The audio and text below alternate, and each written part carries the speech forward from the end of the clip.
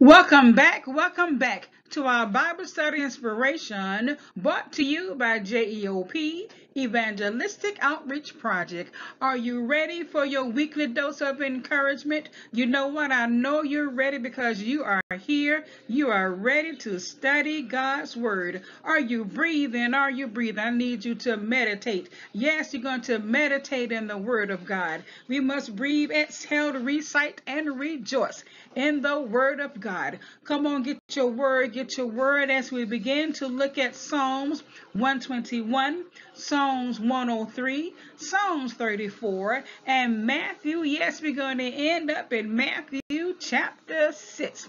Yes, Matthew chapter 6, starting at verse 5. Come on now, we are ready now to meditate in the Word of God. Legacy generation, are you ready? Yes, I'm ready to to hear the word of God. Praise the Lord. Praise the Lord. Legacy generation is ready. So are you ready out there? Come on now, get your word. Turn with me now to Psalms 121. Amen. Psalms 121. I will lift up my eyes to the hills, from whence comes my help. My help comes from the Lord who made heaven and earth. He will not allow your foot to be moved.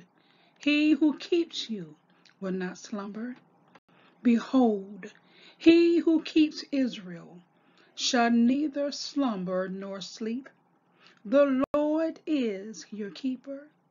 The Lord is your shade at your right hand. The sun shall not smite you by day, nor the moon by night. The Lord shall preserve you from all evil. He shall preserve your soul. Verse 8 The Lord shall preserve your going out and your coming in from this time forth and even forevermore. Psalms 103 Bless the Lord, O my soul and all that is within me. Bless his holy name. Bless the Lord, O my soul, and forget not all his benefits, who forgives all your iniquities, who heals all your diseases, who redeems your life from destruction, who crowns you with loving kindness and tender mercies who satisfies your mouth with good things, so that your youth is renewed like the eagles. The Lord executes righteousness and justice for all who are oppressed. He made known his ways to Moses, his acts to the children of Israel. The Lord is merciful and gracious, slow to anger, and abounding in mercy. He will not always strive with us, nor will he keep his anger forever. He has not dealt with us according to our sins, nor punish us according to our iniquities. Verse 11 For as the heavens are high above the earth, so great is his mercy toward those who fear him. As far as the east is from the west, so far has he removed our transgressions from us. As a father pities his children, so the Lord pities those who fear him. For he knows our frame. He remembers that we are dust. Verse 15 As for man, his days are like grass, as a flower of the field, so he flourishes and the wind passes over it, and it is gone. And its place remembers it no more. Verse 17.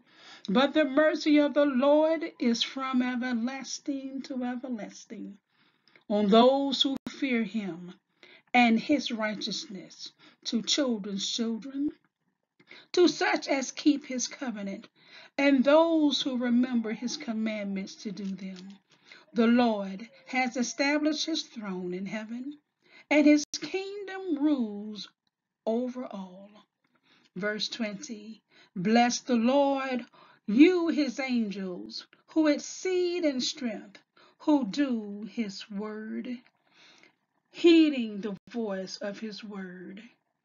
Bless the Lord, all you his host, you ministers of his, who do his pleasure. Verse 22 Bless the Lord, all his works, in all places of his dominion.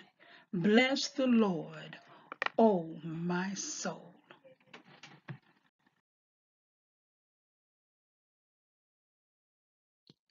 Psalms 34 I will bless the Lord at all times. His praise shall continually be in my mouth. My soul shall make its boast in the Lord. The humble shall hear of it and be glad. Oh, magnify the Lord with me, and let us exalt his name together. I sought the Lord, and he heard me, and delivered me from all my fears. They looked to him and were radiant, and their faces were not ashamed.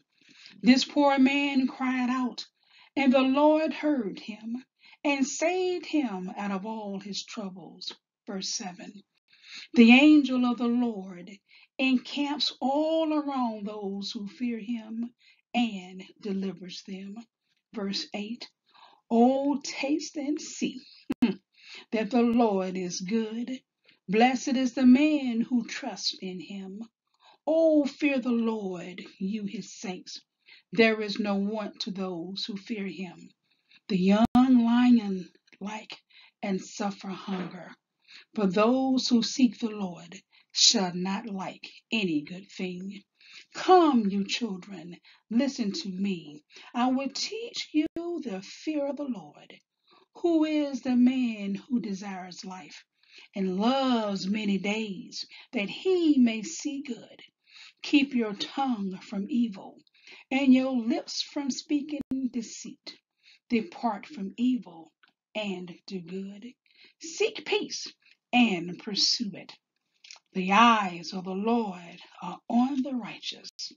His ears are open to their cry. The face of the Lord is against those who do evil, to cut off the remembrance of them from the earth. The righteous cry out, and the Lord hears and delivers them out of their troubles. Verse 18 The Lord is near to those who have a broken heart and saves such as have a contrite spirit. Verse 19 Many are the afflictions of the righteous, but the Lord delivers him out of them all. He guards all his bones, not one of them is broken. Evil shall slay the wicked, and those who hate the righteous shall be condemned. The Lord redeems the soul of his servants, and none of those who trust in him shall be condemned. The model prayer, Matthew 6, starting at verse 5. And it reads, And when you pray, you shall not be like the hypocrites, for they love to pray, standing in the synagogues and on the corners of the streets, that they may be seen by men. Assuredly, I say to you, they have their reward. But you, when you pray, Go into your room, and when you have shut your door, pray to your Father who is in the secret place, and your Father who sees in secret will reward you openly. Verse 7 And when you pray, do not use vain repetitions as the heathen do, for they think that they will be heard for their many words. Verse 8 Therefore, do not be like them, for your Father knows the things you have need of before you ask Him. Verse 9 In this manner, therefore, pray Our Father in heaven, hallowed be your name. Your kingdom come, your will be done, on earth as it is in heaven. Give us this day our daily bread, and forgive us our debts as we forgive our debtors. And do not lead us into temptation, but deliver us from the evil one. For yours is the kingdom and the power and the glory forever. Amen. Are you smiling? Are you smiling? A smile goes a long way. Share our Bible study with others. See you next week. Don't forget to subscribe to the channel. We'll see you next week. Amen. Amen. Amen. God bless you.